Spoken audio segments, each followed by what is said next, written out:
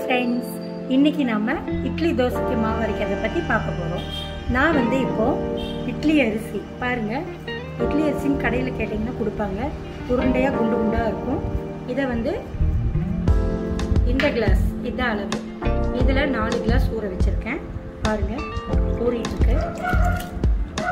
அடுத்தது நாலு கிளாஸ் அரிசி எடுத்துருக்கோம்ல இதே கிளாஸில் ஒரு டம்ளர் உளுந்து. பாருங்கள் ஊற வச்சிருக்கேன். இது கூட ஒரு கைப்பிடி வெந்தயம். இதுவும் அந்த உளுந்து கூடையே சேர்ந்து ஊற வச்சிருங்க. இது ரெண்டுமே வந்து ஏழு மணி நேரம் ஏழு மணி நேரம் அரிசி. டோட்டலாக வந்து ஏழு மணி நேரம். அதில் வந்து உளுந்து மூணு மணி நேரம் ஊறணும். இது ஏழு மணி நேரம் ஊறணும். ஏன்னா இது குண்டு குண்டாக இருக்கிறதுனால நல்லா உங்களுக்கு ஊறி அரையிறதுக்கு ஈஸியாக வரும். அதுக்காக நான் இது ஏழு மணி நேரம் ஊற வச்சுருக்கேன். உளுந்து வந்து மூணு மணி நேரம் உங்களுக்கு ஊறினா போதும். ஏன்னா அது சீக்கிரம் வந்து அரைஞ்சிடும் இப்போ நம்ம அரைக்கிறது எப்படின்னு நான் ஃபஸ்ட்டு இப்போது மிக்ஸி ஜாரில் அரைக்க போகிறேன் கிரைண்டரில் அரைச்சிக்கலாம். ஆனால் நான் எப்போவுமே எங்கள் மூணு பேர் இருக்கிறதுனால மிக்ஸி ஜாரில் தான் அரைக்கிறேன். இப்போ இது மிக்ஸி ஜாரில் ஃபஸ்ட்டு உளுந்து அரைச்சிக்குவோம். உளுந்து அரைக்கும் போது நீங்கள் ஊற வச்சிருக்கிற தண்ணி போதும். எக்ஸ்ட்ரா தண்ணி ஊற்ற வேண்டாம். தண்ணியை இதில் இருக்கிறத மட்டும் ஊற்றிட்டு அரைப்படுற நேரத்தில் கொஞ்சம் கொஞ்சமாக தொளிச்சிங்கன்னா போதும். கொஞ்சம் கொஞ்சமாக ஊற்றினா போதும். ஃபுல்லாக ஊற்றினீங்கன்னா உளுந்து வந்து நல்லா அரைஞ்சு மாவு குழகுலான்னு ஆயிரும். உங்களுக்கு இட்லி தோசை நல்லா வராது. கல்லில் ஒட்டி பிடிச்சிக்கும் நம்ம இப்போ இது மிக்சி ஜாரில் நான் போட்டுட்டேன். இதை வந்து இப்போ அரைக்க போகிறேன் பார்த்துக்கோங்க. இந்த அளவுக்கு தண்ணி இருந்தால் போதும். அப்போ நம்மளுக்கு தேவைப்பட்டால் கொஞ்சம் கொஞ்சமாக ஊற்றி நம்ம அரைச்சிக்கலாம். ஓகே இப்போ எப்படி அரைக்கிறதுன்னு பார்ப்போம்.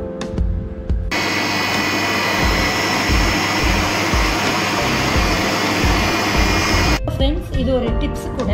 ஆப்ஷனல் தான். இது வந்து நீங்கள் இட்லி அரிசி ஊற வைக்கும்போது நல்லா இட்லி ஃப்ளஃபியாக வர்றதுக்காக நம்ம ஜவ்வரிசி அதாவது நாலு டம்ளர் அரிசி ஒரு டம்ளர் உளுந்து அது கூட கால் டம்ளர் நம்ம ஜவ்வரிசி எடுக்க போகிறோம் இந்த ஜவ்வரிசி வந்து நல்ல குண்டு குண்டாக உருண்டையாக இருக்கணும். இந்த இந்த மாதிரி ஜவ்வரிசி வந்து நைலான் ஜவ்வரிசி. இது வந்து நீங்கள் போடக்கூடாது இட்லிக்கு. இது போட்டிங்கன்னா இட்லியோ தோசையோ வராது. கல்லில் ஒட்டி பிடிச்சிடும். அதனால் நீங்கள் வாங்கும்போது பார்த்து வாங்குங்க. ஸோ இதை வந்து நீங்கள் ஒரு ஒன் ஹவர் தண்ணியில் ஊற வைக்கணும். நான் ஆல்ரெடி ஊற வச்சுருக்கேன். பாருங்கள் இப்படி தண்ணியில் ஊறி இந்த மாதிரி இருக்கும். இது வந்து நீங்கள் அரிசி ஊற வைக்கும் அரிசி அரைக்கும் போது இதுவையும் அதில் போட்டு அரைச்சிட்டிங்கன்னா நல்ல ஃப்ளஃபியாக இட்லி சூப்பராக வரும். அதுவும் இல்லாமல் அந்த இட்லி அரிசி கூட வந்து நீங்கள் உப்பு போட்டே அரைச்சிங்க. நல்லா மிக்ஸ் ஆகிடும் சிலர் வந்து பொங்கினதுக்கப்புறம் இட்லி உப்பு போடுவாங்க. ஆனால் நான் வந்து அரைக்கும் போதே உப்பு போட்டுருவேன். இப்போ இந்த ஜவ்வரிசி வந்து அந்த அரிசி கூட சேர்ந்து மிக்ஸ் பண்ணி அரைச்சிக்கலாம். பாருங்க உளுந்து அரைச்சாச்சு. உளுந்தோட பதம் வந்து பார்த்தீங்கன்னா நீங்கள் ஒரு பிறந்த குழந்தைய கையில் தூக்கும்போது என்ன சாஃப்ட்னஸ் இருக்கணும் அந்த மாதிரி சாஃப்டாக இருக்கணும் அதே மாதிரி கையில் எடுத்து ஊதி பார்த்தா அது வந்து இப்படி இப்படி ஓடணும். இந்த மாதிரி ஓடுறதுதான் இருந்ததுன்னா நல்ல பதம். அதுதான் அரைச்சிருக்கணும் தறி தறியாக இருக்கக்கூடாது. நல்லா நைஸாக இருக்கணும் எப்போவுமே இட்லி தோசைக்கு மாவு அரைக்கும் போது ஃபஸ்ட்டு உளுந்து அரைச்சிக்கோங்க.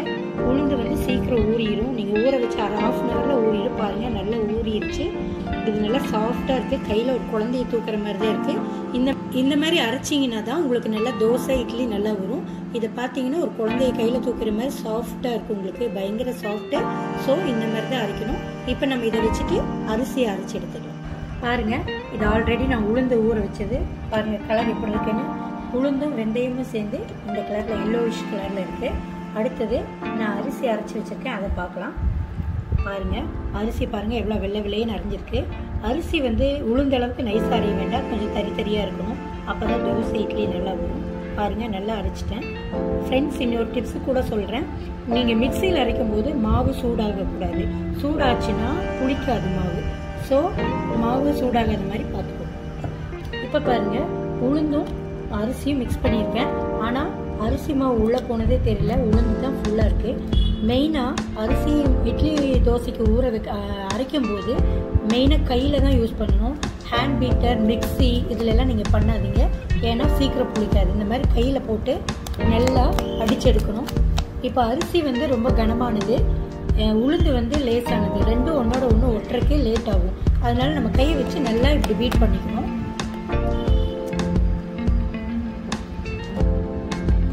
மாதிரி நல்லா பீட் பண்ணிக்கணும். கையிலேயே நல்லா அடிச்சடிச்சு எடுங்க. இப்படி அடிச்சடிச்சு எடுங்க. நல்லா சவுண்டு வருது பார்த்தீங்களா டப் டப் டப் டப் டப்னு சவுண்டு வருதா? இந்த மாதிரி சவுண்டு வரணும். அப்போ தான் இது அரிசி நல்லா புளிக்கும். பாருங்க. இப்போ உளுந்தும் மாவும் கலந்துருச்சு. நல்லா மிக்ஸ் ஆயிடுச்சு இது வந்து அரிசி உளுந்து வந்து நம்ம உடம்புக்கு ரொம்ப நல்லது. இடுப்பு வலி அந்த சம்மந்தப்பட்ட எதுவுமே நம்மளுக்கு வராது. ஹெல்த்தியான ஃபுட்டு காலையில் ஆரோக்கியமான இட்லி எல்லாருக்கும் கொடுக்கலாம். ரொம்ப ஆரோக்கியமான டிஃபன் இது. மெயினாக இது வந்து பேச்சுலர்ஸ் ஹாஸ்டலில் இருக்கிறவங்க காலேஜ் ஸ்டூடெண்ட்ஸ் அவங்கெல்லாம் வந்து புதுசாக கல்யாணமானவங்க அவங்கெல்லாம் வந்து வீட்லேயே இந்த மாதிரி ஹோம்மேடாக தயாரித்து வச்சுட்டிங்கன்னா ரொம்ப நல்லது. டிஃபனுக்காக நம்ம எங்கேயும் போக வேண்டாம். நம்ம இதுலேயே விதவிதமாக புதினா தோசை தக்காளி தோசை அப்புறம் ஆனியன் தோசை ரவா தோசை இட்லிலேயே வந்து நம்ம மினி இட்லி சில்லி இட்லி அதெல்லாம் நம்ம போட்டுக்கலாம். பாருங்கள் இது வந்து ஒன் வீக் வரை எங்களுக்கு வரும். நாலு கிளாஸ் போட்டிருக்கேன். அரிசி ஒரு கிளாஸ் உளுந்து ஒரு கைப்பிடி அதாவது நாலு ஸ்பூன் வெந்தயம் அப்புறம் ஜவ்வரிசி பார்த்தீங்கன்னா கால் டம்ளர். இவ்வளோ தான் நான் ஊற வச்சுருக்கேன். மொத்தம் ஏழு மணி நேரம் டைம் அரிசிக்கு வந்து ஏழு மணி நேரம் டைம் உளுந்துக்கு மூணு மணி நேரம். வெந்தயம் அது கூடயே ஊறுறதுனால உளுந்த முதல்லையே ஊ- அரைச்சி எடுத்துருங்க. அப்புறம் ஃபோர் ஹவர்ஸ் கழிஞ்சு நீங்கள் இந்த அரிசியை அரைச்சி எடுத்துருங்க. இப்போ மாவு ரெடி ஆயிடுச்சு. இதை நம்ம உப்பு போட்டு அரைச்சிருக்கோம். காலையில் தான் இது புளிக்கும். எப்பவுமே அரிசி மாவு அரைக்கும் போது மார்னிங் டைம் மதியானம்லாம் அரைக்காதீங்க. ஈவினிங் டைம் அரைச்சிங்கன்னா இந்த மாவு நல்லா இருக்கும். சீக்கிரம் புளிக்கும். நல்லா டேஸ்டியாகவும் இருக்கும். நம்ம ஏன் இதை வந்து நல்லா இப்படி மிக்ஸ் பண்ணுறோம்னா இந்த ஏர் பபுள்ஸ் இருக்கு இல்லையா? இது வந்து இது உள்ளே போய் நல்லா செட் ஆகும்போது தான் இட்லி நல்லா ஃப்ளஃபியாக வரும் தோசை வரும். நீங்கள் எயிட் ஹவர்ஸ் ஊற வச்சிங்கன்னா இது வந்து ஒரு மாதிரி ஜவு ஜவ்வாக ஆயிரும். தோசை வராது இட்லியும் வராது. சப்பீரும் உங்களுக்கு தப்பி வராது. அதனால செவன் ஹவர்ஸ் மோஸ்ட்லி அரிசி செவன் ஹவர்ஸ் உளுந்து வந்து த்ரீ ஹவர்ஸ் ஊற வைங்க. ஓகே ஃப்ரெண்ட்ஸ் இப்போ மாவு ரெடி ஆயிடுச்சு. ஹெல்த்தியான வீட்லேயே நம்ம தயாரிக்கக்கூட ஈஸியான ஒரு மாவு நான் வந்து மிக்சியில் அரைச்சிருக்கேன். மெயினாக கவனிச்சுக்கோங்க. மிக்சியில் அரைக்கும் போது மாவு சூடாக அரைக்கக்கூடாது.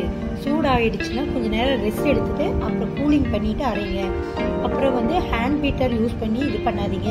மிக்சிலேயே ஒன்றா கலக்காதீங்க. இந்த மாதிரி கையில் நல்லா மிக்ஸ் பண்ணி வச்சுக்கோங்க. இப்படி மிக்ஸ் பண்ணி வச்சிங்கன்னா மாவு டேஸ்ட்டாகவும் இருக்கும் சீக்கிரமும் புளிக்கும். இதை நம்ம நல்லா புளிக்க வச்சுட்டு மார்னிங் இட்லி தோசை ஊற்றிக்கலாம் ஓகே ஃப்ரெண்ட்ஸ் மாவு ரெடி ஆயிடுச்சு. தேங்க்யூ நான் மாவு அரைச்சி முடிச்சிட்டேன். இந்த மாவு அரைச்ச ஜாரில் கொஞ்சம் தண்ணி ஊற்றி நல்லா மிக்ஸ் பண்ணி ஒரு பாத்திரத்தில் ஊற்றி வச்சுக்கோங்க. இதை வேஸ்ட் பண்ணாதீங்க. நாளைக்கு இட்லி ஊற்றிட்டோம் தோசை ஊற்றும் போது கட்டியாக ஊற்றக்கூடாது கொஞ்சம் தண்ணி மிக்ஸ் பண்ணி தான் நம்ம தோசை ஊற்றுவோம் அப்போ இந்த தண்ணியை நம்ம யூஸ் பண்ணிக்கலாம். ஸோ எதுவுமே இதில் வேஸ்ட் இல்லை. மறக்காமல் இதை பண்ணி பாருங்கள் ரொம்ப நல்லாயிருக்கும் அப்புறம் வந்து உளுந்து அரைக்கும் போது ஒரு கை குழந்தையை தூக்குற பக்குவம் தான் வேணும். அதை மறக்காதீங்க. அந்த மாதிரி சாஃப்டாக பஞ்சு மாதிரி இருக்கணும் உளுந்து. ஓகே ஃப்ரெண்ட்ஸ் தேங்க்யூ மறக்காமல் கமெண்ட் பாக்ஸில் கமெண்ட் பண்ணுங்கள் லைக் பண்ணுங்கள் ஷேர் பண்ணுங்கள் தேங்க்யூ ஃப்ரெண்ட்ஸ்